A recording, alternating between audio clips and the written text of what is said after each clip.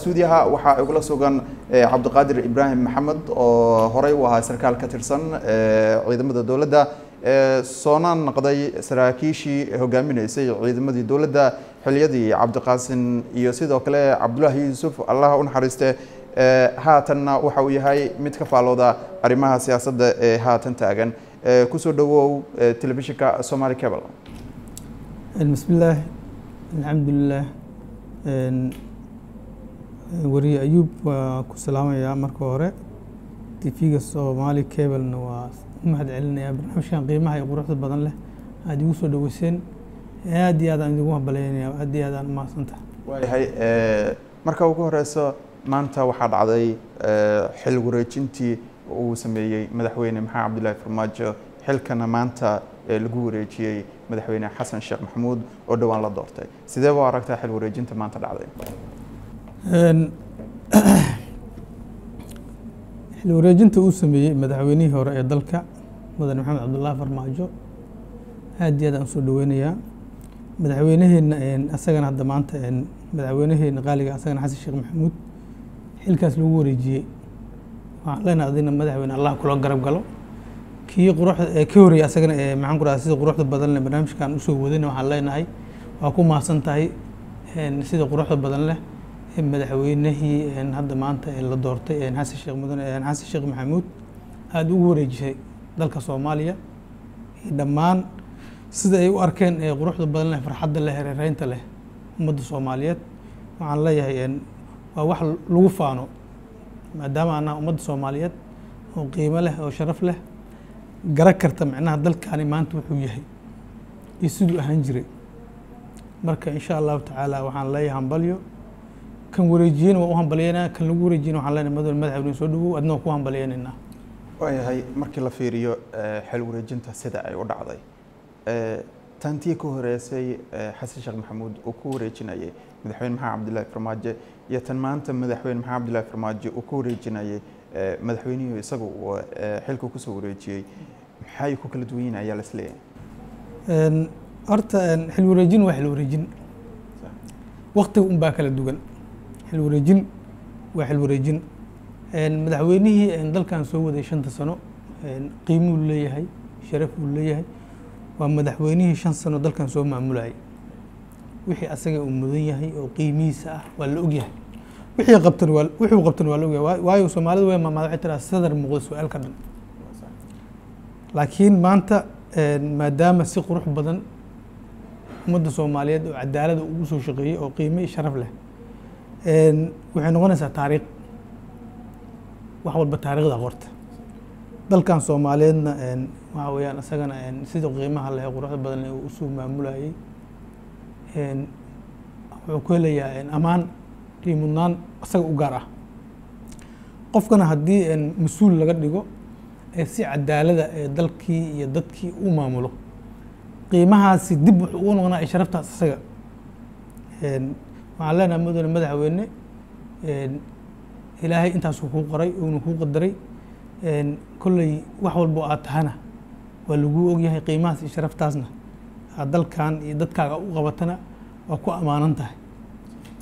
Wixii aa wanaajisana dalkaaga iyo ummadaada u qabataan leenahay. Xil wareejinta aa wareejisana dee waqtiga micnaha intaas ku eg buu ilaahay u qadaray.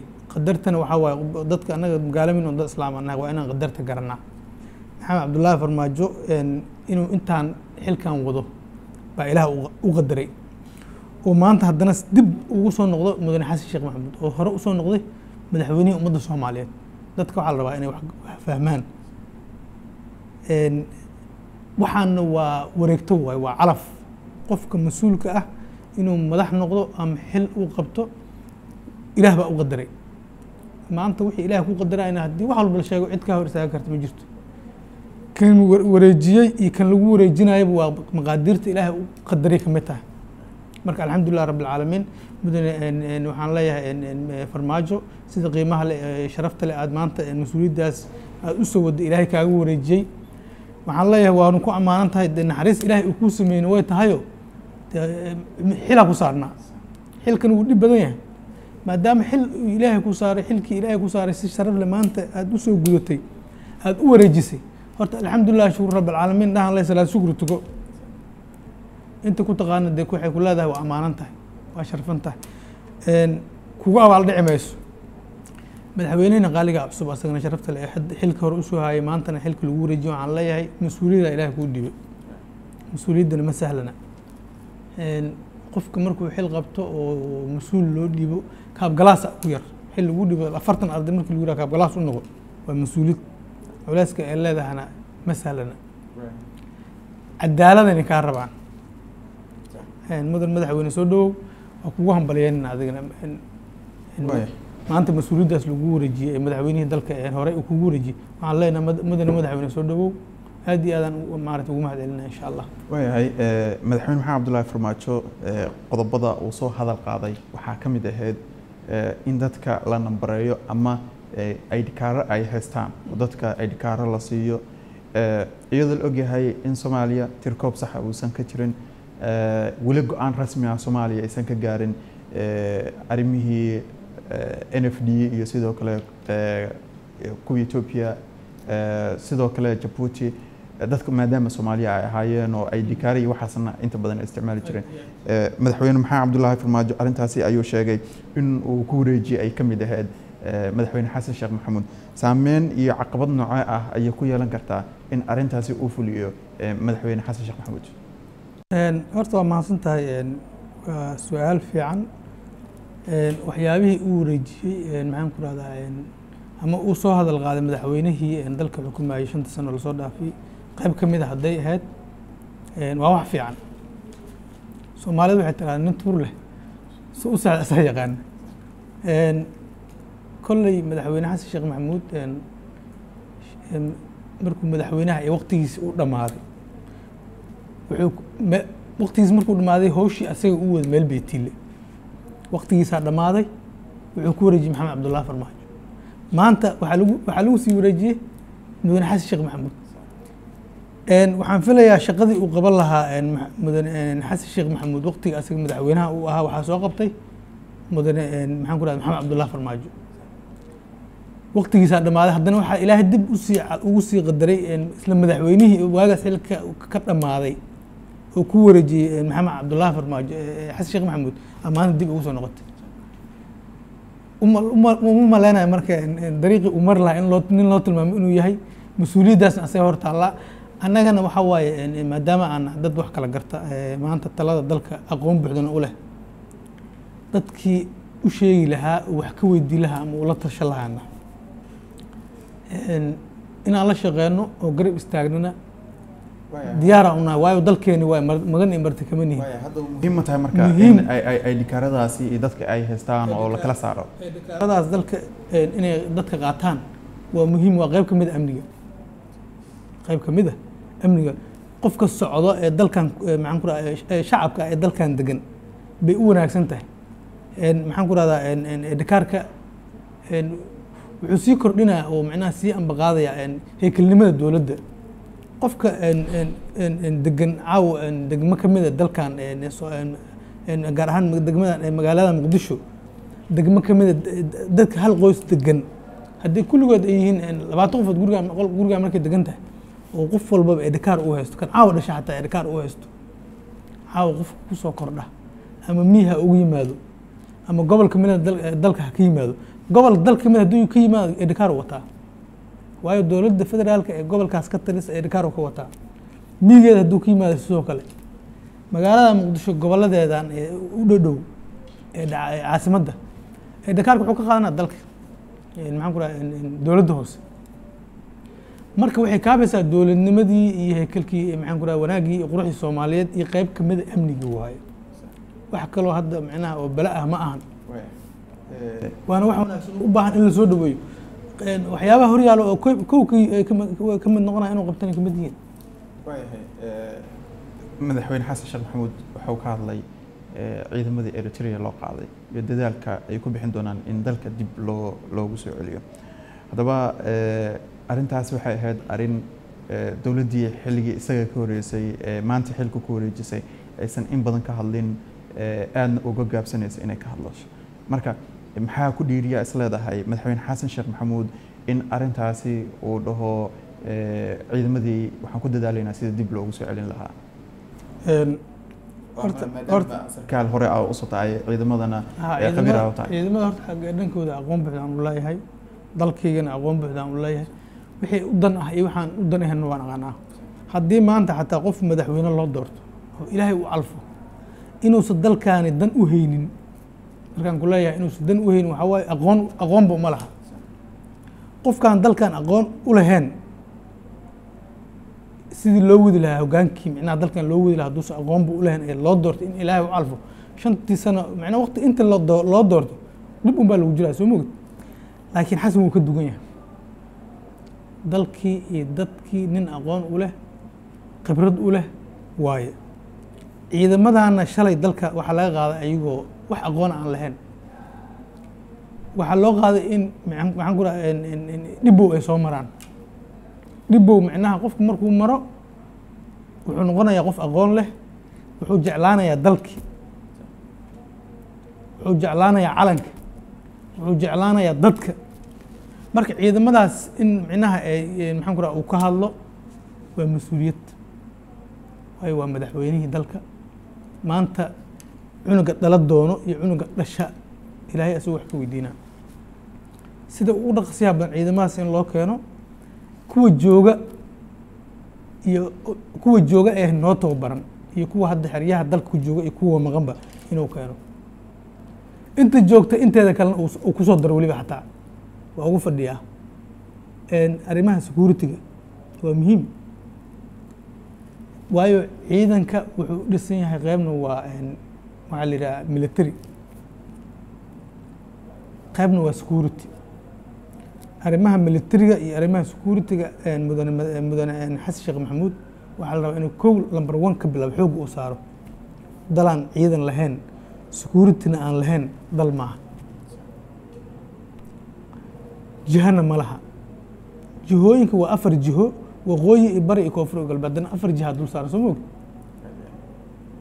marka waxaa la rabaa ciidamada ciidamada dalka iyo macal security-gooda. Waa dalkan jiho jiheeyihii dalka jiheyn lahaa waay amni ahaan markii loo eego. Waxaa la rabaa marka madaxweynaha dalka soomaaliyeed waxaan leeyahay madu- mudane madaxweyne soo dhawow ani maanta waxaan jeclaan lahaa aqoon kuguma yara in een, waddankan in badan ka soo shaqeyn waa tahay qabiir ah. Madaxweynihii een, maanta ilaahay u calfayo mar labaa soo noqdaana tahay. Ummadda soomaaliyeed waxay kaa sugaysa waa cadaalad. Ugu dambeyn su'aashaan rabo waxay tahay eh, haddaba maadaama maanta xil wareejintii iyo warqado muhiim ah lagu wareejiyey rajo nooca ah ayay bulshada soomaaliyeed ay ka qabaan in nidaamkii hore waxyaabihii ay sameeyeen ama eh, qorshooyinkii ay dejiyeen in wax ka bedel lagu sameeyo dadkana looga faa'iideeyo. Rajo nooca ayay ka qabaan. Rajadu aad iyo aad u fiican tahay. Rajada aad iyo aad u fiican tahay. Weliba waxaan leeyahay dadka horta ilaahay aqliga iyo fikirka iyo garaadka kama simin. Ummadda soomaaliyeed waxaa la rabaa horta waddankooda inay ku kalsoonaadaan. Dadkooda iyo dalkooda iyo ciidamadoodana ay ku kalsoonaadaan ninka mas'uulka ee madaxda u ah ee ilaahay u doorna inay ku kalsoonaadaan. Shakiga waa laga fiican yahay Een, kalsoonida dalkana waxaa la rabaa maadaama madaxweyne cusub uu soo noqday mudane xasan sheekh maxamuud dalka inuu kasbado. Dalkan shacbiyadiisa inuu kasbado. Dadkuna waa bashar madaxweynuhu waa bashar wuu qaldami karaa. Madaxweynihii hore waxna wuu ku ammaanan yahay waxna wuu ku qaldan yahay. Waxyaabihii uu ku qaldanaa waa naf iyo shaydaan. Waxyaabihii uu ku ammaanana dee ilaaha waafajiyey. Kan maanta joogana kolley hadda maanta xilki lagu wareejiyey. Waxba sii hordhici mayno laakiin inta aan ka naqaano kolley waa oday soomaaliyeed waa nabadoon soomaaliyeed. Hadaladiis waxaa ka mid ahaa oo aad iyo aad aniga ii dhiirigelinayo oo aan kalsooni buuxda aan ka qabaa isku tanaasul nin la yidhaha maxamed gacal xayo wuxuu dhihi jiray gafki waaye waaye dhiciyo geel la kala qaaday doqon baa gadaal wax gocotiyo goor la soo maray annaga wixii wixii la soo maray hadday fiicnaayeenna waxaan leenahay alxamdulilah shir rabbilcaalamiin waxaan leenahay waa wax fiican. Wix- wixii qaldamana de kolley dadku waa bini aadan oo ma dhammaystirna qofaan magafi waa ilaahay qofaan qaldamin ma laha ay mise marada ka dhicin. Mar walba in wax la saxo oo wax la wanaajiyo habboon dalkana waa federaalism gobollada dalka. Waxaa jira maamul goboleedyo sida puntland oo kale. Waxaa madaxweyne ka ah ninka la yihahdo siciid Een, meesha la yihahdo hirshabeelle waxaa madaxweyne ka ii sheeg ninka la yihahdo cali guudlaawe wuu tegi waaye ogtahay meesha la yihahdo hiiraan. Wuxuu u tegi waaye ma ahayn inay necab yihiin. Inuu inuu inuu micnaha een, yahay nin soomaaliyeed oo muwaadin soomaaliyeed inuu yahay inuu tegi waayo ogtahay wuxuu u tegi waaya nacaab maaha xumaanna maaha. Waa micnaha een, arrin la rabay mas'uuliyad loo- in loo fiiriyo oo laga warwareejiyo keliya meesha la koonfur galbeed. Wixii ka dhac waa ogeyn mujda taas mawluuc gaar waa inaan ka baxno marno laakiin waa sheegaynaa wixii- inaa ka dhacay. Waa iftiiminaynaa Sa- xasan waxaan ka rabnaa marka annaga tiyoo kale inaysan nagu soo noqon. Gaar ahaan shabeellada hoose wixii dhac waa ognahay mujda lama rabo marka saas. In meel nin inta la iska geeyo iska dego guri uu leeyahay oo kale iska fariista lama rabo. Waxaan rabaa meeshan ninkan jooga ii sheeg een, shabeellada hoose iyo shabeellada dhexe iyo puntland iyo koonfur galbeed inay mid yihiin. Sargaalka jooga shabeellada hoose in la soo bedeli karo lagey karo meesha la puntland. Dowladdu waa federalism. Cadaaladaan rabaa. Rasuulka calayhi salaatu salaam iyo ba ba ba ba iyo ninka la yihahdo baa nin yahuudi qabsaday. Nin yahuudiya ba baa ku dhegay waxaa la socday cumar bin khadaab. Markii uu ku dhegay seeftuu la soo baxay. Gacanta ku qabtay. Wuxuu yihi ninkan aa ujeedadu yiri waa nin yahuudi islaam maan gaalada caadigan waa yahuudi yiri aniga asagaba cadaaladaan ka rabnaa yiri seeftaan haray yiri ninkan wuxuu igu leeyahay deen inta wadid akoonka islaamka inta geysid intaan siiyo yiri waa intuu lahaa intaana sii waa intaa gulgusho yiri. Intaana ugu daro yiri waa micnaha waa ku wanaaji. Intaa la sameeyey. Ninkii wuxuu yidhi intaan waa intaan lahaa intaana maxay tahay intaan labadan kale maxay tahay? yiri. Intaan waa intii lagu gulgulo yiri aa la yiri. Intaana waa adaa lagu isxamaa ninkii wuu soo noqday laa ilaha illa maxamed rasuulullah hore ka yiri micnaha qofku waxaa la rabaa nasteexa la rabaa wanaag. Addiinu nasteexa.